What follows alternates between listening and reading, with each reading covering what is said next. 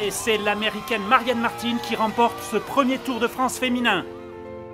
It was like a dream. I loved representing my country.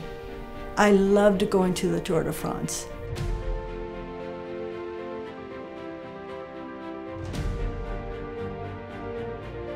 They said women couldn't survive the Tour de France. The women will not make it to the finish line without one casualty.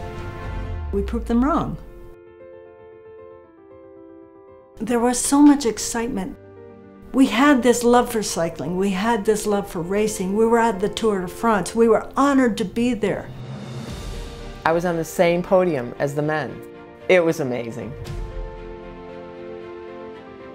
We were pioneers. I rode my heart out. There was great camaraderie among the riders. The Olympics are one day. With the tour, it was every day. It was living. I think most people don't even know there was a women's Tour de France. All these years later, I still have that same joy on the bike. The women of the Tour de France will never be forgotten.